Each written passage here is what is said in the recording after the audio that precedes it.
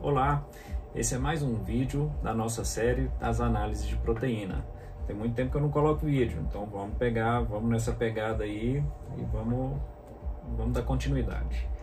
É, bom, mais um vídeo da nossa série de proteínas, das análises disponíveis no mercado em, e em nossas lojas também, tá?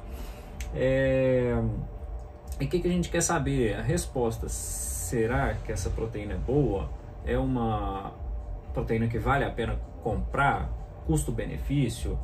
É, é umas perguntas que a gente quer uh, responder aí no decorrer do vídeo, tá? A protagonista de hoje é a Delicious Whey 3W. É uma proteína da Fitoway, uma proteína que veio com a pegada gourmet. Ela, o sabor que eu mandei analisar é a chocolate maltado, famosa uva maltina. Eles só não podiam colocar esse nome aqui, tá? E, e vamos lá. Essa proteína ela é indicada para aquelas pessoas que têm certa dificuldade com saborização no mercado. É, proteína, whey protein, a gente sabe que é, é, muitas das vezes as pessoas elas não se aderem, não, não aderem até a, a, a indicação do nutricionista por causa de sabor. Então a pioneira aí foi a Best Way, que trouxe ao mercado produtos de, de saborização muito boa. É, depois vieram várias outras empresas e a Fitoway está nessa pegada agora. Lembrando que quando a gente tem uma proteína é, gourmet, a pegada é, faz com que ela diminua um pouco a concentração de proteínas. E essa aqui, ela vem falando no rótulo que ela tem 24 gramas de proteína em 40 gramas do produto, tá?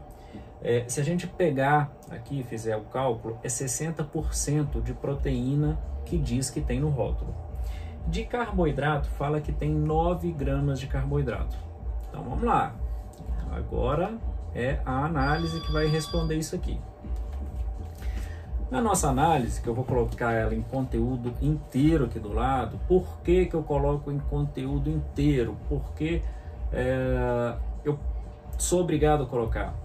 É uma, o que eu estou mostrando não é eu que estou falando, é a, o laboratório credenciado é, na Anvisa, em todos os órgãos competentes, está é, tá fazendo uma análise e eles são responsáveis por isso. Então, qualquer problema é o laboratório que responde. Eu só estou repassando isso para o consumidor, tá?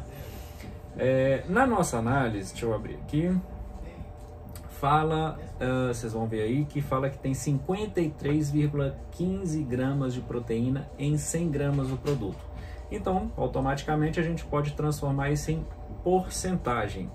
Então, em 100 gramas, deu que tem 53,15%.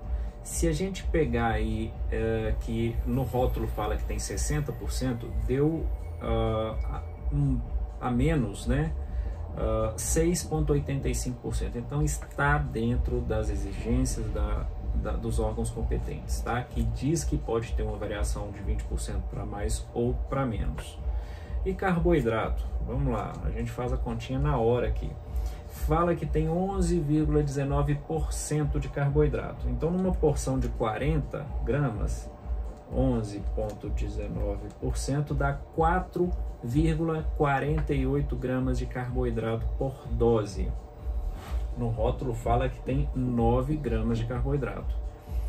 É, de certa forma, é um produto até melhor em relação à quantidade de carboidrato.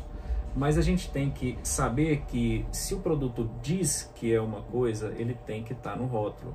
Então eles pecaram nessa questão, tá? Ele tem menos carboidrato do que fala aqui, tá bom? Aí é de vocês. Digo, digo o seguinte, que o produto em relação à proteína, quantidade de proteína está dentro das especificações. Carboidrato tem menos do que fala no rótulo, tá? É, lembrando que a gente vai colocar todas essas análises, cada, cada vídeo a gente vai disponibilizar análise no nosso Instagram que vai aparecer, aqui para vocês. É, peço a vocês que entrem lá no Instagram e uh, analisem, tá? Uh, é muito importante a gente aprender a visualizar rótulo e saber identificar qual produto que é bom, qual produto que é ruim. Lembrando que a gente tem proteínas com mais teor de proteína, né? whey protein com mais teor de proteína no mercado.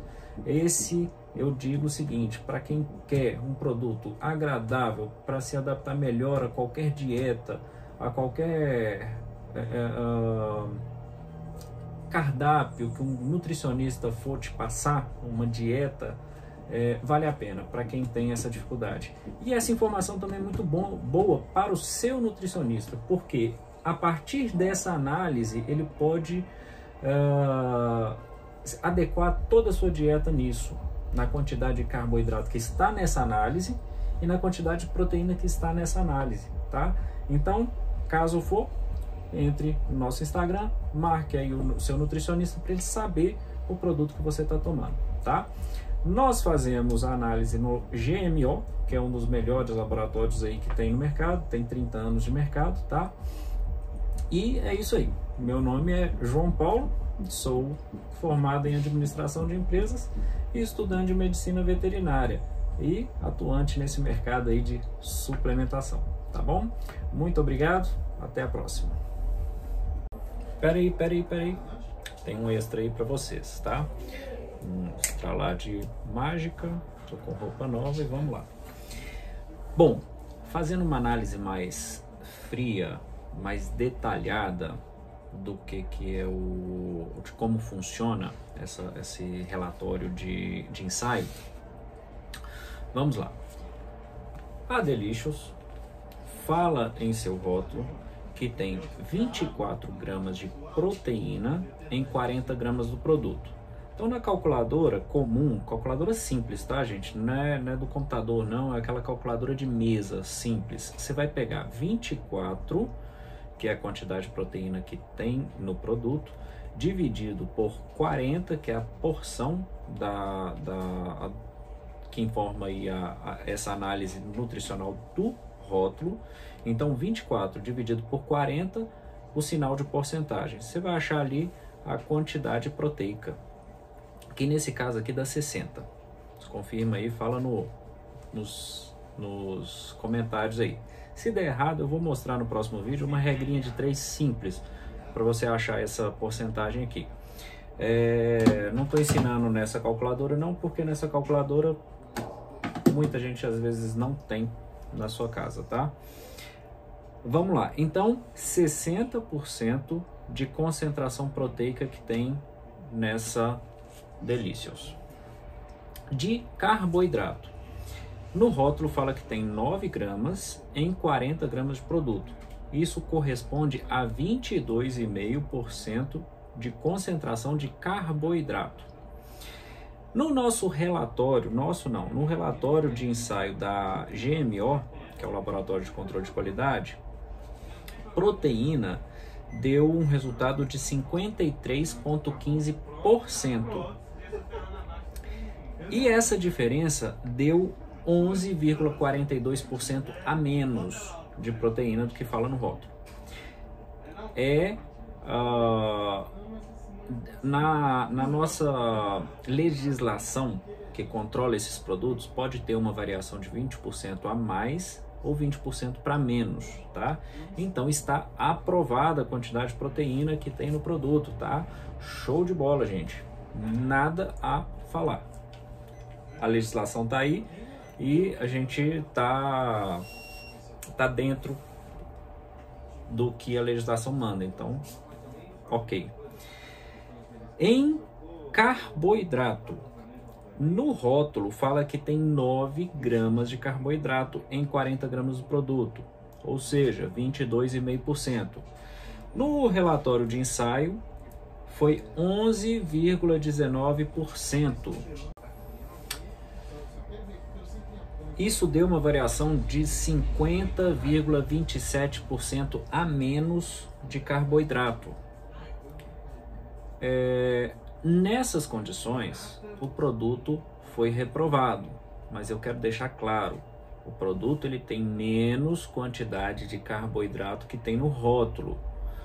Levando em consideração que uma dieta de um, de um profissional ele vai ser calculado no rótulo, a gente tem que ter um rótulo honesto, um rótulo dentro das especificações das, do, dos órgãos competentes. E nesse caso, deu menos carboidrato que fala no rótulo. De certo modo, para quem está com uma dieta restrita, ok, mas quem está com uma dieta que não, não tá, já, já, tá, já bateu todos os macros, no caso carboidrato, e tem um plano alimentar muito bem uh, certinho, isso pode acabar atrapalhando. Mas é, é aquela coisa, é uma whey deliciosa, uma whey muito boa. Uh, basta o profissional que está fazendo a dieta para você saber o que o relatório de ensaio deu de resultado. E nesse relatório não falha. Uh, diante disso, pode tomar? Show de bola, gente. Pode tomar, é um produto bom, mas uh, tem que saber o que tem dentro do produto. Proteína bateu, carboidrato deu a menos e vamos lá. Não estou aqui para falar mal, não estou aqui para falar bem, estou aqui para mostrar a realidade. E a realidade na nutrição hoje é bem simples. São cálculos que o, o, o profissional que faz a dieta para vocês fazer cálculo. Quanto que você vai ingerir de é, caloria diária, dos macros, dos micros e etc e diante disso a gente tem que tomar um produto, um profissional, ou a gente tem que saber o que, é que a gente está tomando. E esse é o objetivo. Lembrando que a gente é amador nessa questão de vídeo, falar diante da câmera, e a gente vai errar algumas vezes, vai ser um vídeo que a gente vai ser um canal que a gente vai melhorando cada vez mais. E bom, esse é um papo bem aberto aí. E é isso aí. Valeu, gente. Abraço.